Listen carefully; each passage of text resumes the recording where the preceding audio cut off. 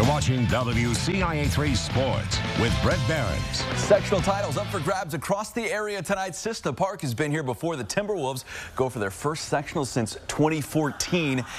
Meanwhile, Gibson City Melvin Sibley, longtime listener, first-time gamer, Falcons go for their first sectional title in school history. Let's go to Colfax. Hello, Ridgeview, the side of this 1A clash, and fans from both schools showing out some good ball movement from the T-Wolves. Leads to a Lauren Hamrick bucket. Both teams trade blows. And then on the other end, Mallory Rosendahl gets the layup for the Falcons.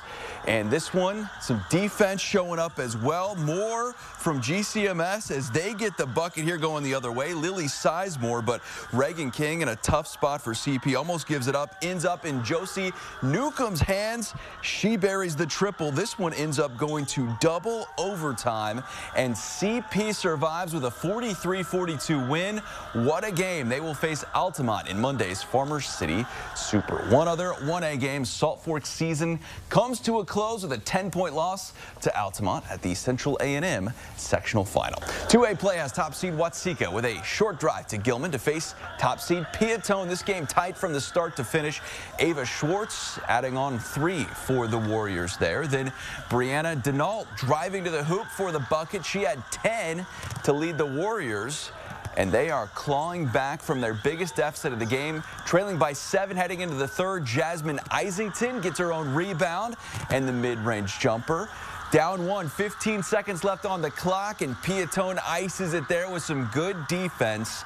31-30. Watseka comes up just short, finishing its season with a 27-5 record. Meanwhile, in Newton Teutopolis, they are four points shy to Robinson, and in Beardstown, Camp Point Central beats Pleasant Plains 43 to 37. It's title or bust this season for Lincoln, and not a sectional we're talking about. This is the next step for the Railers taking on Morton in the East Peoria sectional title game. Jenna Bowman for three.